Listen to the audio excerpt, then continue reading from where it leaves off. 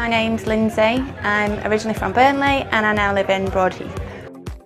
I've tried for a number of years to stick to going to the gym and eating healthy um, and classes and nothing's really stuck. Um, but I joined here on a six week initial programme and just loved everything about it and I'm still here two years later. It's all ladies which is great, there's no sort of pressure.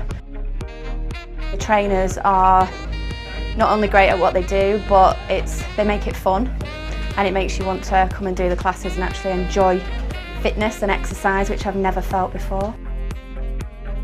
I went away a couple of weeks ago and it's the first time in about five years that I've been on holiday and felt confident in how I look in a bikini and, and shorts.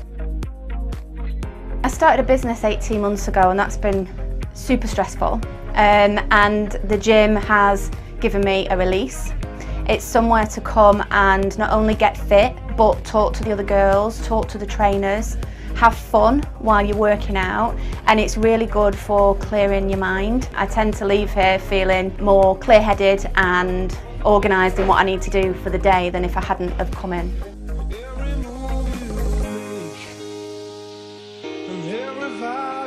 every